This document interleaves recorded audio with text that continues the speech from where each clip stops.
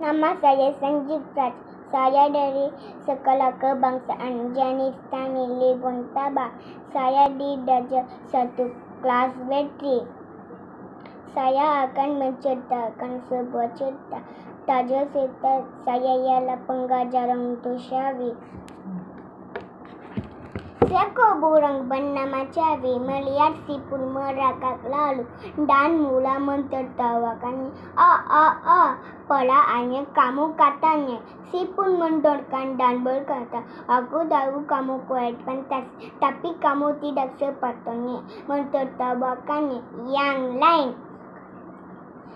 Sekali lagi Cavi ketawa, kemudian dia berkata, mari berlumbaan sepanjang sungai ini hingga ke puncak air. Kita lihat siapa yang lebih pantas.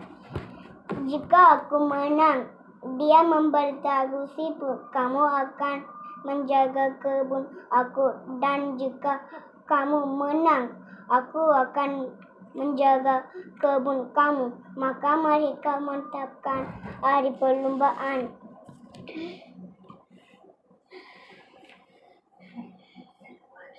Selepas Cawi terbang pergi, si pun memberitahu keluarganya tentang perlumbaan itu dengan kataannya.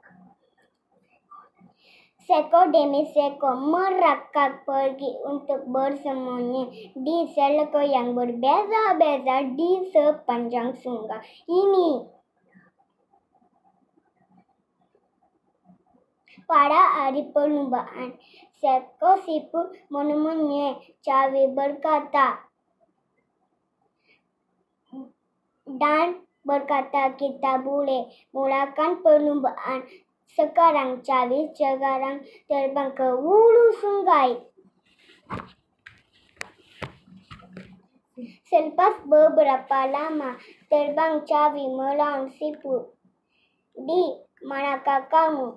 Di, dia terkejut apabila mendengar jawapan datang dari Areko Sereko di hadapan dan dia ternampak seekor siput di situ. Cawi terbang senapas yang boleh.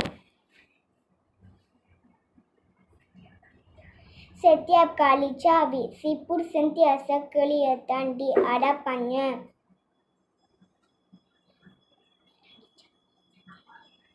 Apabila siput datang menemuinya, Cawi berkata, maafkan aku kerana mentertawakannya.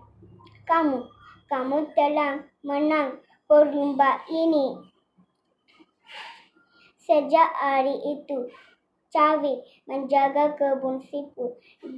Dia tidak lagi berasa dirinya lebih hebat daripada yang lain. Terima kasih.